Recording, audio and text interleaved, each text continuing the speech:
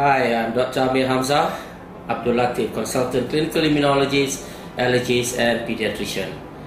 Welcome again to another episode of uh, diseases of the skin, and this time let's go and talk about scalp health. We forget that the skin is actually covering our head.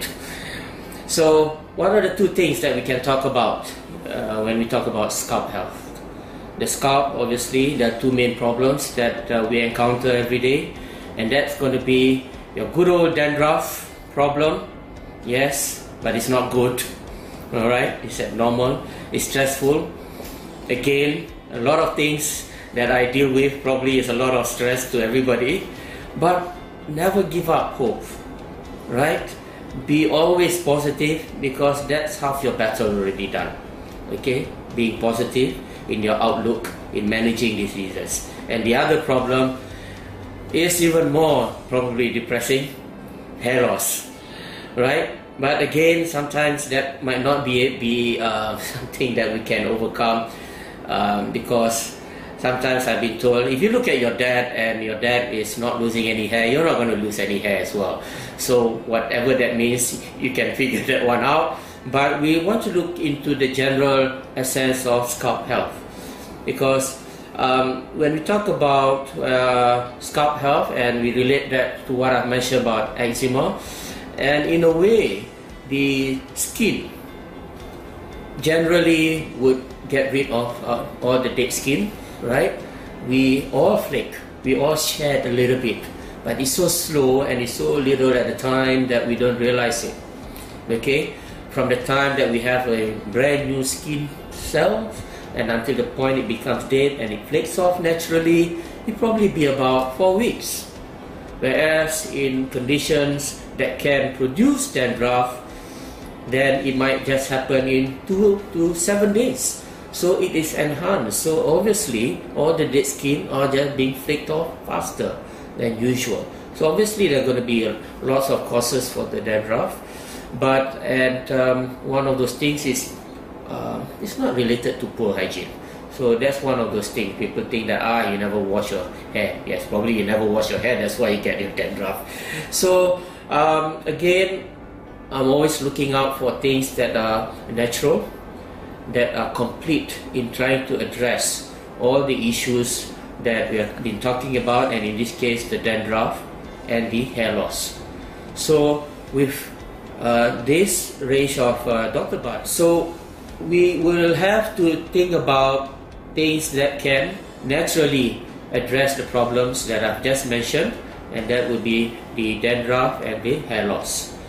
And as usual, these are organic products, plant extracts that has got the EcoCert certification, and that's always wonderful news. And you can be rest assured that they are not going to contain things that are going to be, uh, in a way, even allergenic, right? And no steroids. Okay, it's not to do with medication. These are wonderful natural products that you can use with confidence. So, what's wonderful about these uh, products for your scalp health is that uh, it, it has been done up in three steps. Okay, three simple steps. It won't go wrong. Okay, you want to cleanse, you want to condition, and you want to nurture there are different formulation for each of the different conditions and of course that makes sense. And that also reinforces that the care that has been taken to look into the formulations. Because to address the dandruff problems certain formulations and the hair loss another set. But three easy steps that everybody needs to address so what I'm going to just mention next is just to put it into perspective and discuss both things separately a little bit because I want uh, all of you to get a little bit uh, uh, jumbled up and think that we can use this interchangeably. Right? These are two different conditions and they are two different products. So we have dandruff as the problem whereby you know we talk about the scalp being oily and hence attracting a lot of itch and a lot of microbes there. So we have the formulation here in the Dr. Buds that would address those problems. So bring it down so that it won't be so oily and then there will be antimicrobial activities of the ingredients. Now, whereas the hair loss is all about the scalp health in general, because it's not healthy. It's not healthy in its structure. It could be all clogged up, and we want to unclog all those things so that it becomes uh, healthy again, and hence that would prevent excessive hair loss, further excessive hair loss. We cannot say that it's going to regrow. I don't want to say that. It would naturally uh, bring back your state of health to the scalp so that the hair that are there now is not going to excessively fall off. So I think that's the main thing that we need to appreciate with the formulation here. But no doubt, I'm sure it is a very good uh, extracts, plant extracts here that they have here, and it will do the job. So when we use these products for your scalp health, okay, so as I already mentioned from before, we have the three steps. Okay, so we want to cleanse first, right, the scalp, and this cleanser is a very mild, soothing uh, cleanser.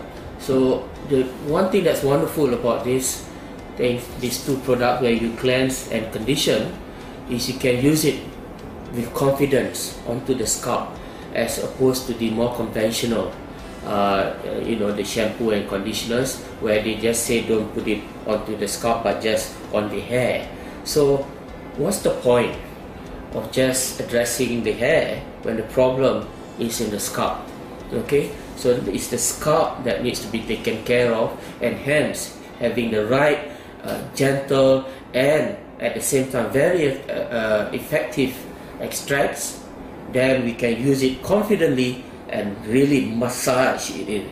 And I'm sure once you massage yourself in, that really gives yourself a nice, good feeling as well. So use the uh, the cleanser first, and then of course you have the conditioners for both of them. This is of course once you are still in the bath, right? The, the shampoo and your conditioner, and this is after when you dry, and then you use your serum, uh, whether it is for the dandruff or the hair loss. Okay. So the conditioner sort of uh, reinvigorates your hair and revitalize and gives vitality. So whereas, um, but of course, it gives the overall uh, effect onto the scalp as well for the both of them. And then after that, once you have done that, you dry up your hair. Now after uh, you have done the shampoo and conditioning, then you will put the serum, and this would now uh, bring in all the nutrients that will be absorbed into the scalp and until your next wash. So isn't that nice and beautiful, nice and simple? Three easy steps. You can't go wrong. Uh, it's just like saying ABC, one, two, three.